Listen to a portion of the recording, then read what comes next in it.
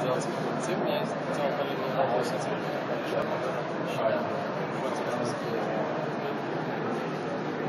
The basic problem was that uh, over the years the error messages haven't changed. Like you can see here, they are almost the same. And people got used to these messages and they started to ignore these messages. So I wanted to draw the user's attention to these messages again. To do this, first I carried out research and I examined these five types of messages. The normal survey.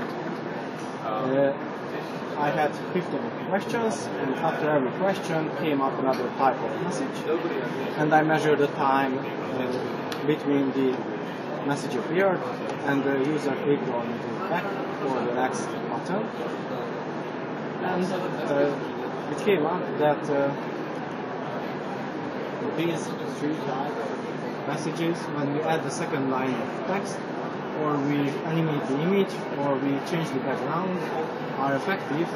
But the deviation of the data was so big that uh, I couldn't uh, decide which one is the best second third. so I had to uh, develop an adaptive system which adapts to every single user and